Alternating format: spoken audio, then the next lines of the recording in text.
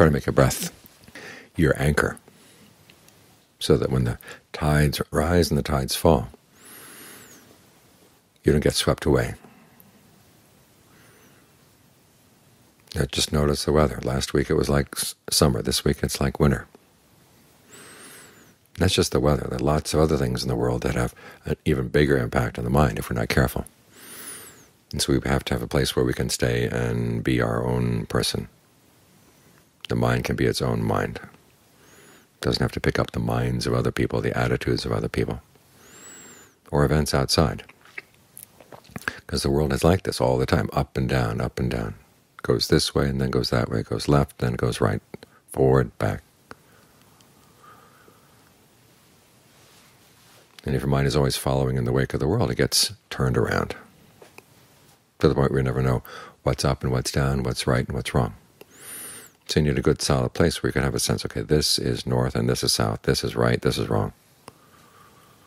And as the ways of the world change, they can change, but you don't have to change along with them.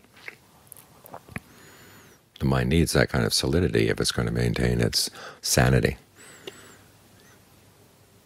and maintain any sense of finding a true happiness. So make sure you make this breath here that you're focusing on as much like home as you can, with a roof and walls and a floor to protect you. In other words, you got the floor, that's your virtue, that keeps you up above the animals on the ground.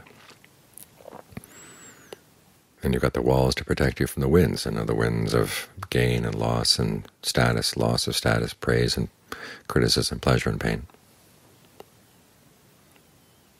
And then you got a roof to protect you from all the defilements that might come in.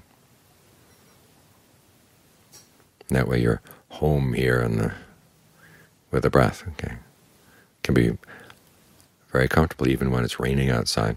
There are those many passages in the canon where the monks are saying, Okay, my hut is well thatched, and so just go ahead and rain. The thatch here, of course, is your discernment.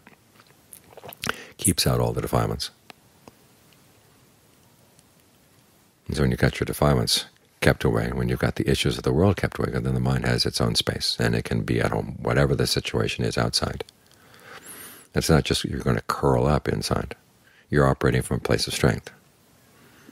Is there's anything you can do to help people outside, you want to come from your place of strength. Same as a person inside a hut. You've got your con your connection with the world outside. You can send out good things. But if you don't have a well-protected place, who knows what you're sending out to the rest of the world? Your mind starts thrashing around, and in the thrashing around you can say and do and think a lot of things that are going to be harmful to yourself and other people. So having a well-protected mind offers protection to others as well.